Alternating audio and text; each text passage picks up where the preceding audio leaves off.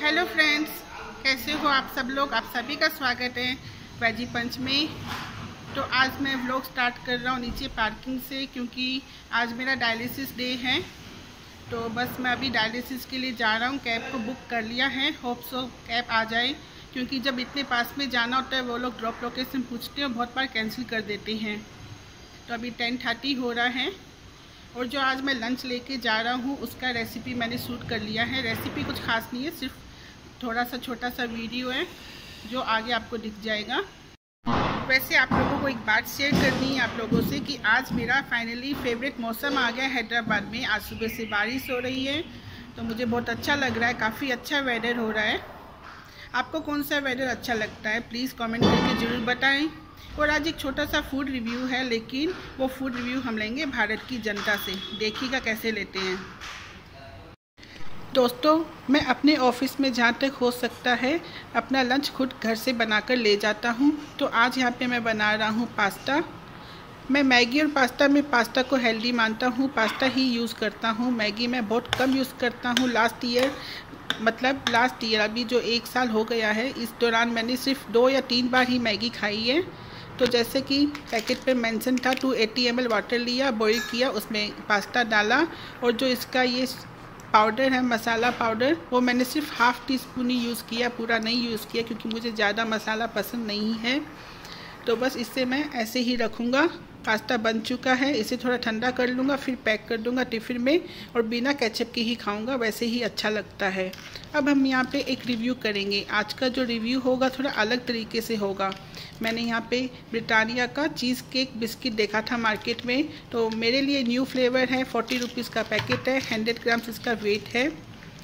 तो आज हम इसे थोड़ा अलग तरीके से रिव्यू करेंगे। आप वीडियो एंड तक देखिएगा, आपको पता चल जाएगा कि इसे हम किस तरह से रिव्यू कर रहे हैं। लेकिन अभी मैं यहाँ पे पैकेट ओपन कर लेता हूँ। मैंने यहाँ पे पैकेट ओपन कर लिया है। और पैकेट ओपन करने के बाद याद आया है कि इंस्टाग्राम के लिए पिक नहीं ली है। वैसे मैं इंस्टाग्राम के लिए पिक लेता जा रहा हूँ, लेकिन एक महीने से मैंने कुछ भी पोस्ट नहीं किया है।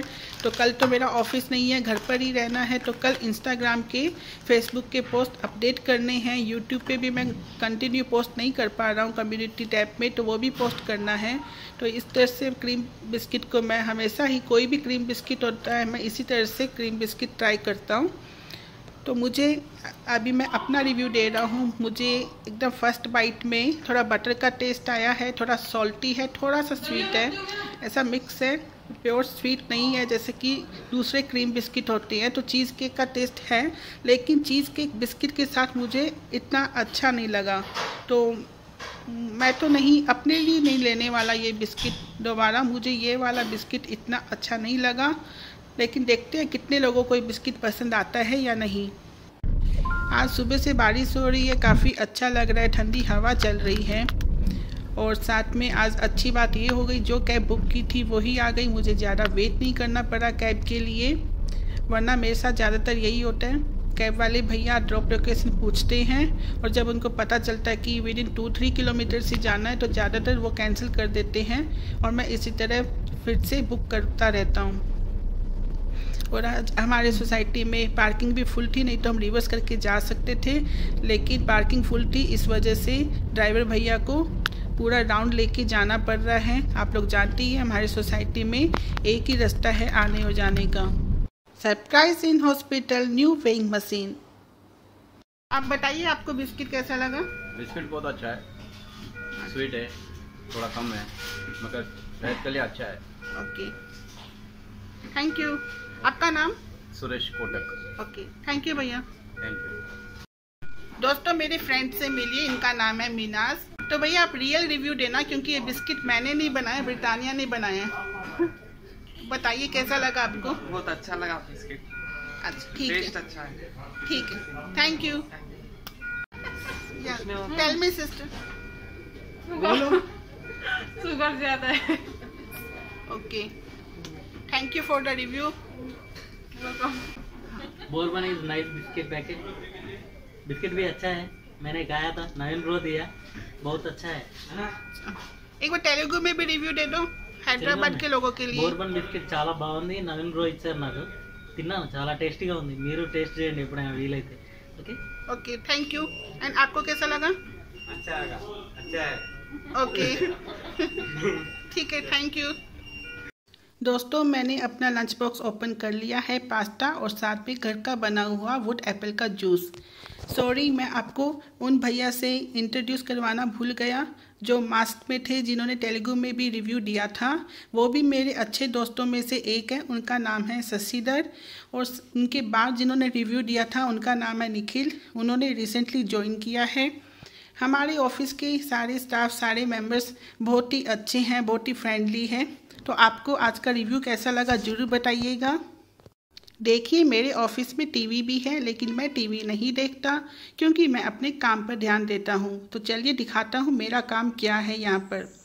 मैंने अलग से एक फ़ोन ले रखा है तो मैं वो फ़ोन यूज़ करता हूँ। कभी कुछ पोस्ट कर लेता हूँ उस फ़ोन से, कभी चेस सुडोकू और अभी मैं खेल रहा हूँ सीक्वेंस पाँच बजने वाली है और फाइनली मेरी ड्यूटी ख़त्म। कुछ दोस्तों से मिलवाना रह गया क्योंकि उनकी ड्यूटी अभी स्टार्ट हुई है।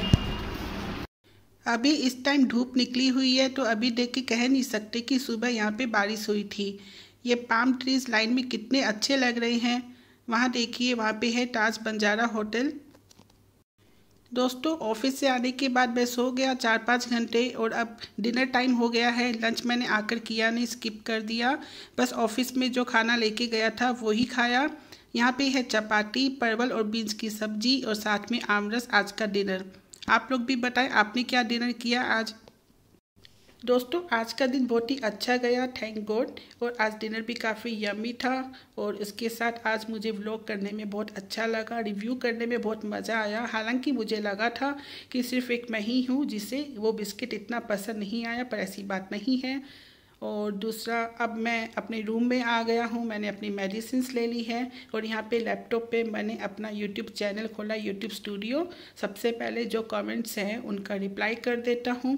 आज वैसे सोचा था कि घर आकर मैं ब्राउनी की रेसिपी पोस्ट करूँगा, क्योंकि जो मेरा फ़र्स्ट व्लॉग था, काफ़ी लोगों ने रिक्वेस्ट की कि मैं ब्राउनी की रेसिपी पोस्ट करूँ।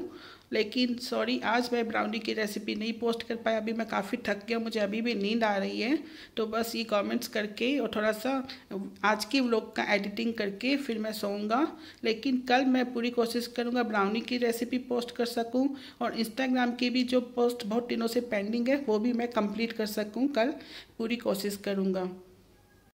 अभी मैं रूम से बाहर आया हूँ, अपनी किचन एरिया की लाइट को स्विच ऑफ़ करने, साथ में फ़ैन को ऑन करने। यहाँ पे मैंने खाना खाने के बाद अपनी किचन की ग्लास कंटेनर्स और ग्लासेस और जो भी कंटेनर्स थे, इन सबको वॉश कर लिया। अभी इनमें कुछ सामान था भी नहीं और काफ़ी दिनों से इन्हें वॉश भी नहीं किया था तो आज थोड़ा टाइम मिला तो मैं सोचा ये काम तो कर लूँ। तो चलो, एक काम तो हो गया। तो बस, अभी इनको इस तरह से मैंने रखा हुआ है। एक बार के लिए इनको पलट भी दिया ताकि जो भी पानी है वो सारा निकल जाए। और अब मैं यहाँ पे फ़ैन ऑन कर दूँगा, लेकिन लाइट स्विच ऑफ़ कर दूँगा और मॉर्निंग में इन्हें ठीक से रख देंगे अलमीरा में और जिनमें जो सामान रखना है वो रख देंगे। फ्रेंड्स आज के इस ब्लॉग में जिस चीज़ का रिव्यू लिया है ना लोगों से तो प्लीज़ आप लोग ज़रूर बताइएगा कि आप लोगों ने वो चीज़ ट्राई की है या नहीं। अगर की है तो आप लोगों को वो बिस्किट कैसा लगा? और आज का अगर ये ब्लॉग आपको अच्छा लगा हो तो प्लीज़ इस ब्लॉग को भी आप लाइक एंड शेयर ज़रूर कीजिए।